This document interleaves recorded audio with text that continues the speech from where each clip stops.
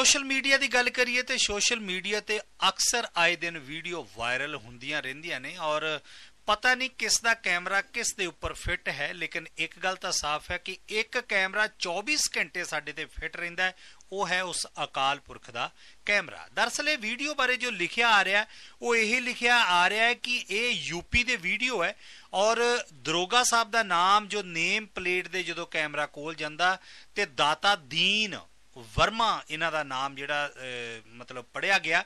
ਔਰ ਉਸ ਤੋਂ ਬਾਅਦ ਇਹ ਦਰੋਗਾ ਸਾਹਿਬ ਵਾਸ਼ਰੂਮ ਵਾਲੀ ਜਗ੍ਹਾ ਤੇ ਕਿਉਂ ਆਰਾਮ ਫਰਮਾ ਰਹੇ ਨੇ, ਇਸ ਦਾ ਇਹ ਪਤਾ ਨਹੀਂ ਲੱਗ ਸਕਿਆ। ਲੇਕਿਨ ਲਿਖਿਆ ਇਹ ਹੀ ਆ ਰਿਹਾ ਹੈ ਕਿ ਸਾਰੀ ਰਾਤ ਚਲਾਨ ਤੇ ਚਲਾਨ ਕੱਟਦਾ ਰਿਹਾ, ਲੇਕਿਨ ਆਰਾਮ ਕਰਨੇ ਨੂੰ ਜਦੋਂ ਕੋਈ ਜਗ੍ਹਾ ਨਹੀਂ ਮਿਲੀ, ਤਾਂ ਦਰੋਗਾ ਸਾਹਿਬ ਵਾਸ਼ਰੂਮ ਵਾਲੀ ਜਗ੍ਹਾ ਤੇ ਹੀ ਲੇਟ ਗਏ। ਵੇਖੋ ਵਾਇਰਲ ਵੀਡੀਓ।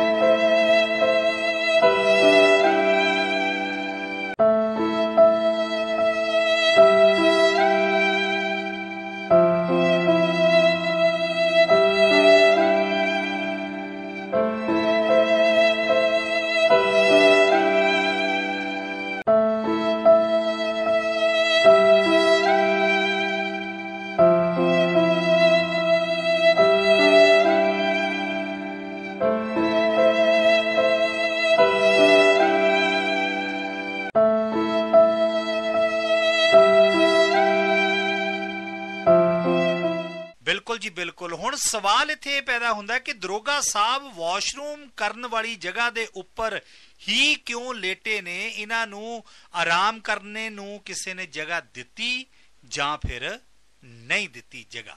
ਸਵਾਲ ਇੱਥੇ ਹੈ ਕਿ ਦਰੋਗਾ ਸਾਹਿਬ ਵਾਸ਼ਰੂਮ ਕਰਨ ਵਾਲੀ ਥਾਂ ਤੇ ਹੀ ਕਿਉਂ ਆਰਾਮ ਕਰ ਰਹੇ ਨੇ?